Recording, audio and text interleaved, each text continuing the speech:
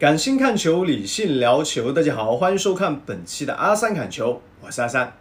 众所周知，目前万众期待的中国女排东京奥运会参赛的名单呢，也是终于压哨揭晓。朱婷呢和张常宁领先，那么七个球员呢都曾经出战过里约奥运会。那么自由人方面呢，王梦洁入围，林丽落选。东京奥运会啊，那么中国女排和美国、意大利等等一些强队呢，都分在了一个小组。那么其实呢，卫冕冠军呢，面临着非常大的一个挑战。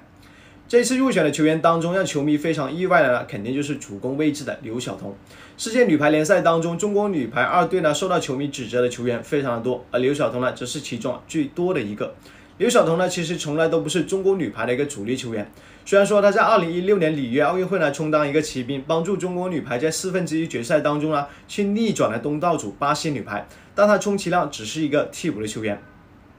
我们可以说，以他的状态和实力啊，本来是应该进不了这一次奥运大名单的。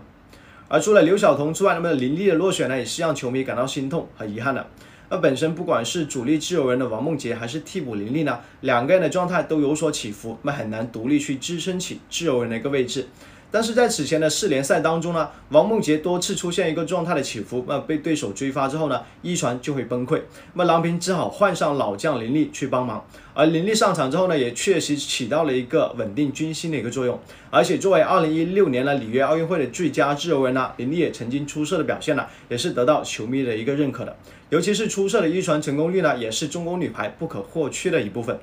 所以其实总的来说，那么林莉和七仙女搭配呢，会更加的默契，而且她的一个丰富的奥运会参赛经验呢，对中国女排应对强敌的时候啊，也会有不少的一些帮助。可以说，不管是从哪一方面来看，那么林莉入围的一个可能性呢，都比王梦洁要大很多。但最后呢，王啊大名单呢，还是让不少球迷呢感到大跌眼镜的。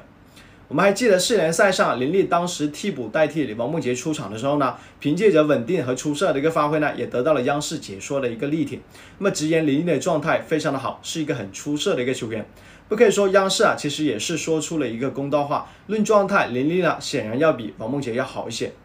当然，其实每一个球迷啊都有自己喜欢的一个球员，所以呢，也希望他们能够都代表中国女排去出战这一次的奥运会。但是十二人大名单的名额呢，毕竟也很有限，不可能每个球员都能够兼顾得到，所以我们也相信郎平和教练组呢，也是经过啊深思熟虑之后呢，才终于决定要用谁去参加这个比赛，所以肯定是争议和质疑呢都是存在的。那么面对这一次最终十二人大名单呢，我们也希望呢郎平不要后悔就好，那么只要能够出一个好的成绩，那么大家到时候的一个质疑声呢，肯定就会消失的。所以最后呢，也希望郎平真的能够带着球队去取得一个更好的成绩。